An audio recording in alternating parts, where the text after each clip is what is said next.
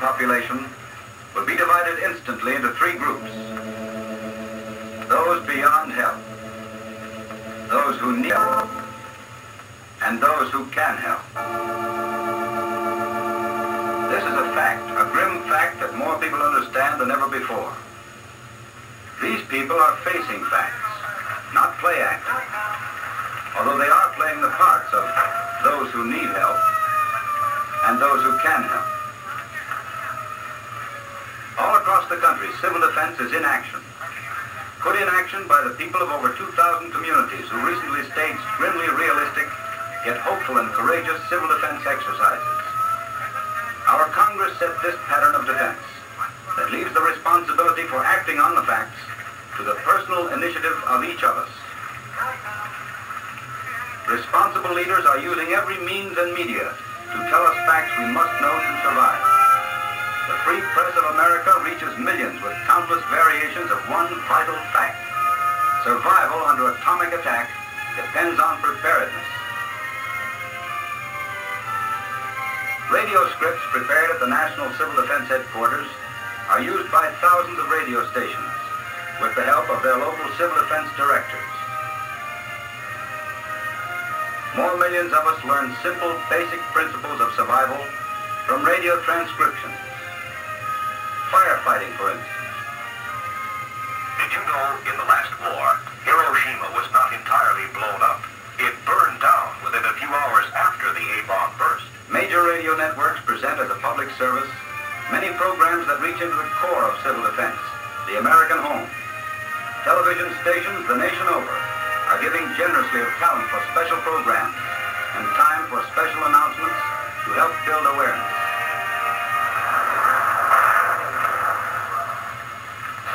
Defense is your business. Your country needs you today. Join the Warden Service. There's a place in civil defense for you. Volunteer for civil defense now. Theater television, piped to strategically located key cities for limited audiences of police and volunteers, helps teach special skills to key men and women.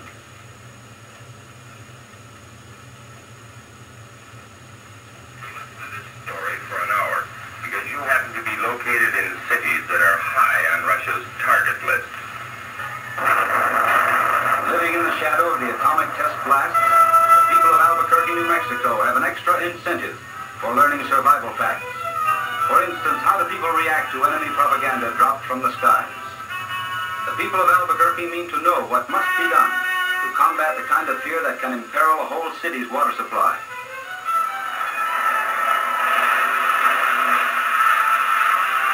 With deliberate, business-like calm, they stage chaos. A mock mass attack designed to reveal a problem they must be prepared to face.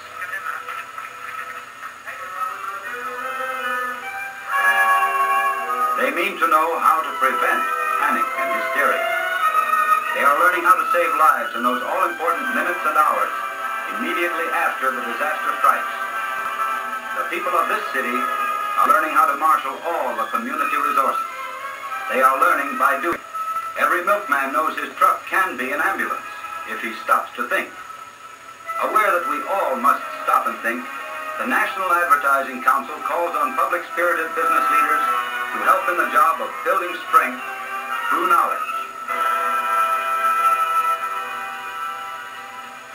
Motion pictures paid for and created by commercial producers who get their facts from the Federal Civil Defense Administration help teach the vitally important ABCs of civil defense. School children now know more about self-preservation thanks to their friend Bert the Turtle.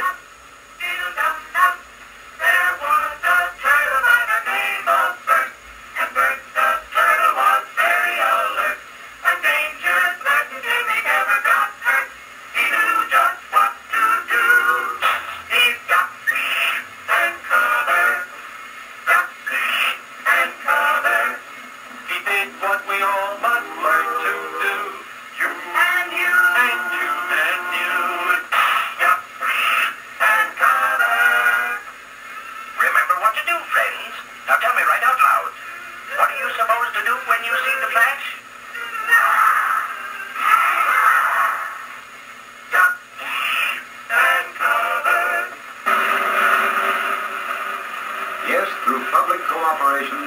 a great many of us, adults as well as children, are learning some facts of survival. Simple things like closing blinds, shutting off stoves and pulling electric plugs can save lives if disaster strikes.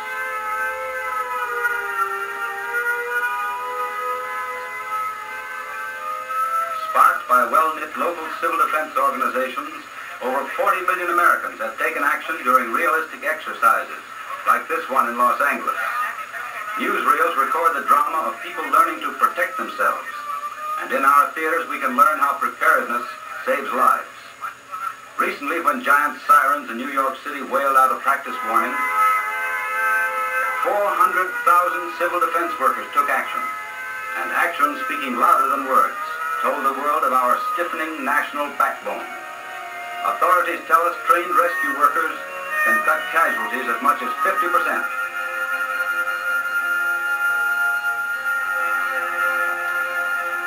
After the exercise, thousands more signed up for civil defense.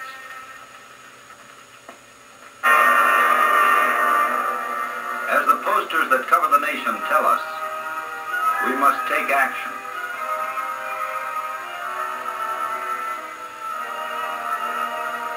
Exhibits capsuled survival information to help build strength through knowledge.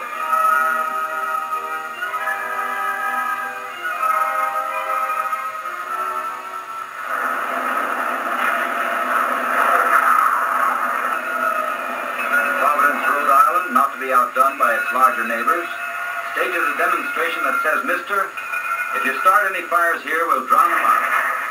We'll learn save lives so well it won't be worth your while to drop any bombs on us.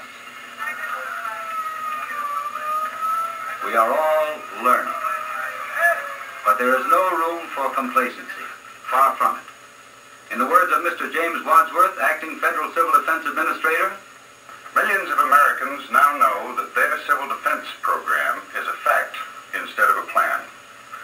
Civil defense is now a permanent part of our daily lives, as it will be for years to come. Today, civil defense can serve the nation in peacetime disasters and if war comes. In the months ahead, the people on Main Street will see a great deal more of civil defense in action as the newest senior partner in our national security program. Our progress is due in great part to citizen leadership and to the remarkable support which civil defense is receiving from the nation's information media. We've made a good beginning, but only a beginning. only a beginning. The Alert America convoys, 30 huge truckloads of civil defense exhibits that roll down the main streets and highways and byways visiting 82 communities, did not find an Alert America only an awakening America. The displays and dioramas the trucks carried helped make us aware, helped open our eyes to teach us what to do. But we the people must do it. We must respond to the need for blood. Civil Defense has joined forces with the Red Cross and with the military to help increase blood collections and build the essential reserves of life-saving plasma. The radio industry and our government working together have devised a plan called CONELRAD. Plan assures us that vital survival information will always guide us, but confuse the enemy. We must have more volunteers for the Ground Observer Corps. 152,000 men and women regularly scan the skies in Operation Skywatch. But it will take 500,000 pair of trained eyes to continuously scan our skies. And working directly with the Air Force, cut seconds that may mean thousands of lives from the time it takes to alert and put interceptor jets in the air.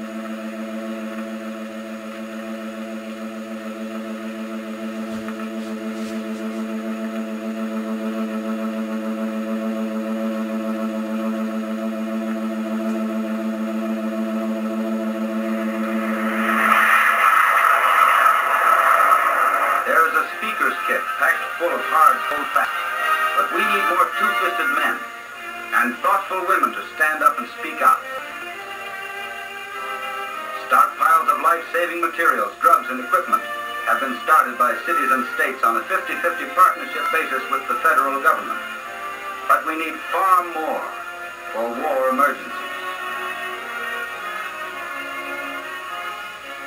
During many natural disasters, civil defense volunteers have already put time value of civil defense and the need for more trained emergency workers.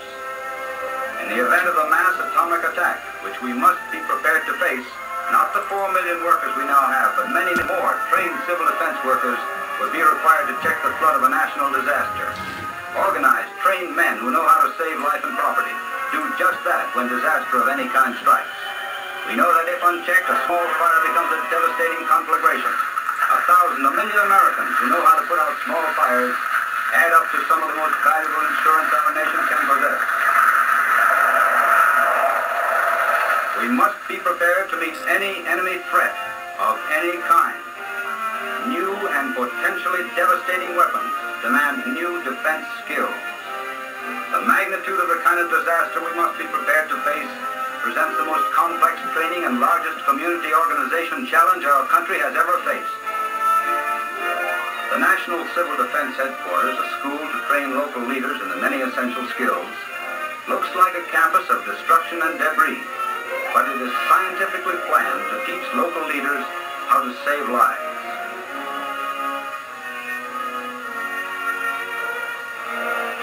Here they and we can be spectators. Here we can observe and learn. And we must learn. For if there should be a real atomic attack, there will be no spectators. Only those who need help and those